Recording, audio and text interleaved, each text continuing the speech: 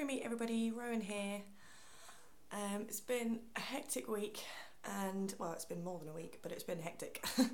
Um, and I don't have the internet at home and I have very sparing data. So my Facebook um, presence is a bit diminished obviously when my data is low etc.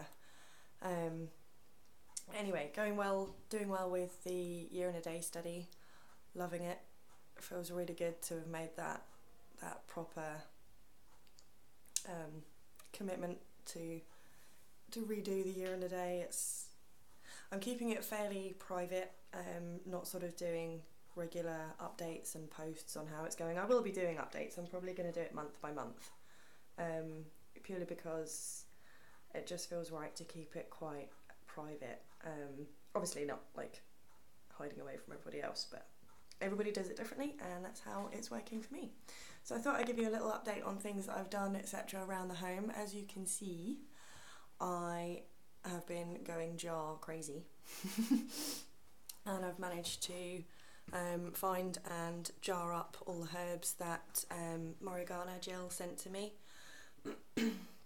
and um, I've got a few extras from the Chinese herbalist. I've got rosebuds there and Jill, you sent me um, some lavender bud. Thank you. I had it in here. I since found a shop um, in something called the Enterprise Centre, which is near me, um, and the lady in there has access to massive amounts of lavender while growing and on her um, farmstead lavender. So I went in there today and I bought, as you can see, that's a, a fairly hefty jar full, well, and it is full, and that's not even all of it, there's more left over here, um, so that's a heck of a lot. Um, and I got that for £2.50, so that's where I'll be getting my lavender from now on. Um, and I've had a little sort of rearrange, obviously, as you can see. I mean, these are the shelves in my kitchen, and I've got all these herbs jarred up, etc. I've got some more jars. Um, went to Lakeland Plastic this morning. Um, no, I didn't. I went to Steamer Trading. Get it right. Um, for those jars, and they were six really good size um, jam jars, but they're not round jam jar shapes. They're like slightly diamondy shape, if that makes sense. Um, tell you what, I'll make this a lot easier and I'll attempt one-handed to get all them out so you can see what Mean. So yeah, that's six pounds for the glass jars with lids. Because Lakeland, Lakeland Limited, you can get jars, you get um, a pack of, I think it's 12 for like eight pounds something. But you then have to, no, it's £9 something, but you then have to buy the lid separately, which makes up to about £15. That's the shape they are. And they're a good size. Um, as I say, they've all got their gold lids, and I'm liking the gold lids. It just it fits in with what I've got going on in the kitchen already. So that was six pounds, and I got another separate big one, which isn't diamond. That's round shape for the massive bunch of eucalyptus that I have, which is ready to be jarred up now because that's all dry. That's been drying for two weeks, I think it is, three weeks, three weeks. Um, and I've got some holly drying up there and a little bit of rosemary there. Also, something I've done is along the, I mean, these shelves are fairly long, these shelves in my kitchen, is I've put up um, cup hooks on the front of the shelves because it the shelves are above my radiator and obviously in the colder months we have the heating on a fair bit or I have the heating on a fair bit. I mean we as in people. Um, so herbs can hang up there. Not cooking but drying at a quicker rate.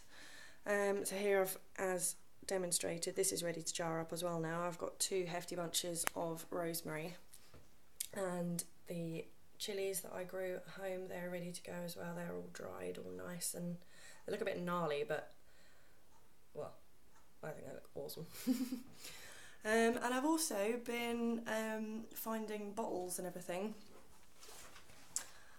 up here, if we can focus, I've rebottled my Chalice well water and my Holy Well water that I got when I went to the Holy Well recently with um, Leonie. And a nice huge long bottle for my rainwater. And uh, Leonie and I went to TJ Hughes yesterday, and I am stunned, absolutely stunned. I mean, you see the size of this bottle, compare it to that one, okay? This bottle was 1.99 and this bottle, see the size of that one, was a pound. You can't go wrong with that, really, can you? so I think um, this one's going to have my full moon water in. Unfortunately, life took over and I missed the opportunity to do full moon water. Um, I just didn't get to do it, so I'll do it on the next one. And I'm not sure what I'm going to put in that one. Um, I might put some new moon water in that one. Um, I've also been drawing, drawing, washing off and uh, soaking off labels of wine bottles, etc., for doing up various different blessed and crystal elixir waters, etc. Um, and because obviously those are screw tops, which you can see up there. When I did go to Lakeland Plastics, Lakeland Limited, whatever you want to call it, I got um, 30 corks and obviously you can trim these down if they don't fit in the bottles you've got. They fit in wine bottles, like generic wine bottles, but beer bottles are slightly smaller, so you can trim them down. Um, you can chew them down, or you can. Well, I just take a bread knife to them and actually trim them down. Um, take them from being like a, just a cylinder into a bit like a funnel shape, so it fits in better.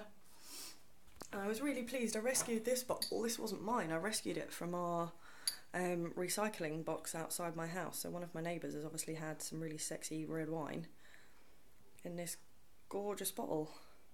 I can see that personally, full of some gorgeous liquid that I don't know, but I, I can see it with a big, like the labels like these. I can see it just with a big old label that says poison or something similar.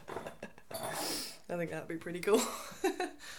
um, so yeah, I mean that's that's it really on kind of like an update styly.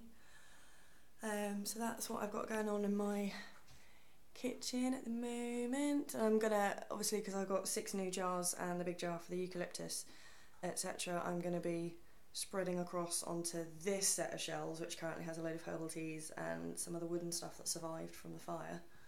Um, so I'm going to be spreading across onto those shelves as well. I think because I don't, I didn't use these shelves for general kitchen purposes anyway.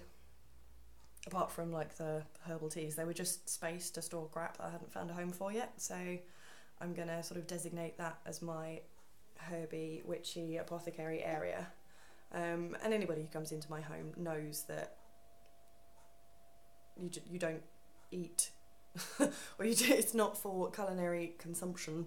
The stuff that I have lying about, and it's all labelled I mean, I'm not going to have anyone coming in that's going to go, oh, what's that? I'm just going to have a munch of this like mugwort and see what happens. Or like mistletoe, etc. it's just, you just don't do it. So, but yeah, so that's what I've got going on there. And my big old eucalyptus that's going to be dried out very soon. Well, it is dried out, it's going to be jarred up very soon. That's what I meant. Sorry, my head's a bit all over the place at the moment. Um, so yeah, update wise, that's as far as I've got really. Year and a day's going really well. Um, life's looking a bit more calm and centered. I've gotten into a really good daily meditation practice. Um, still doing my yoga. Leg is feeling better since its last hiccup. Um, and that's about it, I think. I'm going to be putting up my um, Yule tree and decorations this afternoon because I don't care if it's early. I feel the need for some Yule cheer around my home, so that's what I'm going to do.